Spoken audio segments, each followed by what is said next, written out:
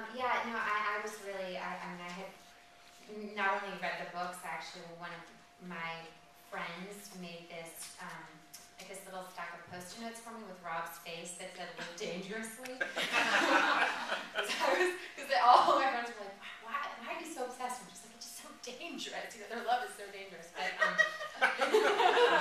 um, yeah, it, it was it was very it was very fast. It was very sudden, and and to be honest, I was intimidated going into it for a variety of reasons. But I felt um, so lucky for to, to get to meet this group of people. It's just it's it's such a it, it's it's a group of people that have genuine friendships and are so deeply committed to doing justice to these stories and um, and put always put the character first, always put the story first, and um, that's obviously that's translated, and